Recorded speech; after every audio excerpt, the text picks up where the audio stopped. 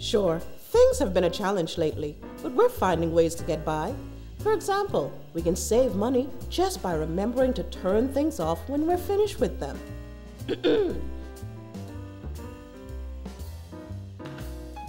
this isn't something that's hard to do. In fact, everybody can do it every day. Sometimes even the little things make a big difference.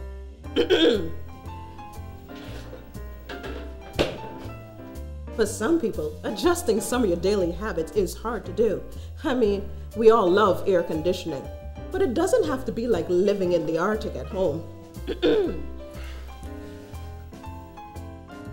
Everybody in your house can help reduce your monthly electricity bill just by making small changes at home.